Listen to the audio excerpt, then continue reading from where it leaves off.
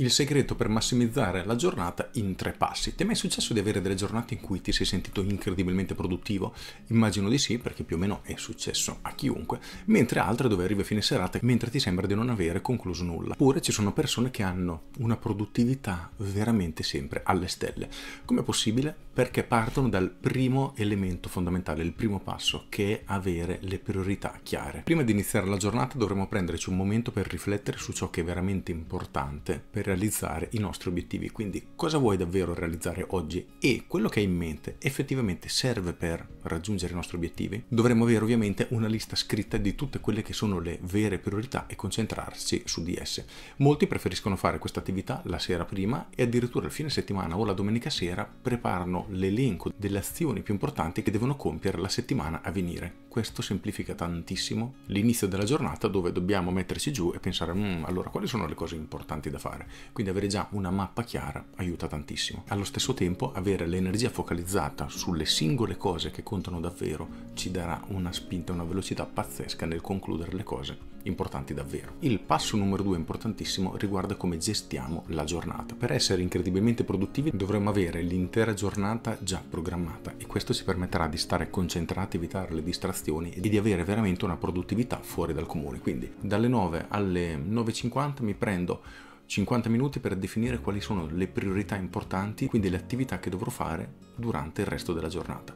Poi dalle 10 alle 10.50, immaginiamo di fare dei blocchi da 50 minuti, devo scrivere una relazione per questo cliente. Perfetto. Dalle 11 alle 11.50 devo lavorare su questo. Dalle 12.30 alle 13.30 me lo invento. Mi fermo per pranzare e dalle 13.30 alle 14 vado a fare una passeggiata per rigenerarmi un po' e riposarmi. Benissimo.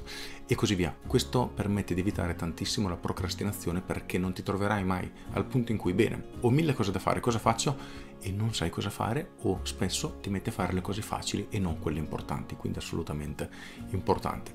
Ultimo passo, ma fondamentale, 3, riguarda le pause. Dobbiamo ogni tanto staccare per essere sempre al 100%, quindi è inutile continuare a spingere, spingere, spingere quando poi la nostra produttività crolla perché le conseguenze negative sono molto pericolose. Ad esempio, possiamo commettere degli errori che andare a correggere richiederà molto più tempo rispetto a quello che avremmo risparmiato o per alcuni buttato via, perché una pausa viene vista come tempo buttato via, in una pausa. Quindi evitiamo di lavorare quando siamo troppo sovraccarichi perché gli errori che facciamo possono veramente condannarci. Riguardo alle pause è una cosa molto soggettiva. C'è chi consiglia la tecnica del pomodoro, ad esempio di fare una pausa di 5 minuti ogni 25 o di 10 minuti ogni 50 minuti, quindi su 60 ore di lavoro, 50 lavori, 10 di pausa.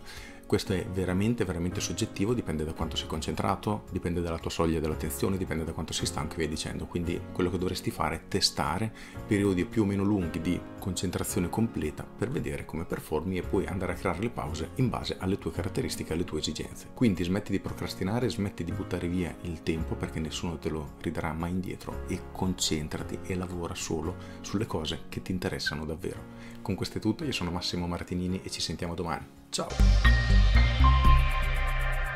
Aggiungo, ricorda di sfruttare al meglio ogni momento della tua giornata, ma ricorda anche di goderti il viaggio, perché la vera soddisfazione non viene solo nel raggiungimento degli obiettivi, che certo per qualcuno sono veramente un godimento puro, ma dovresti essere in grado anche di apprezzare tutto il percorso, il viaggio che devi fare proprio per raggiungere questi obiettivi, perché ciò che riempie la tua vita. Con questo è tutto davvero e ti saluto. Ciao!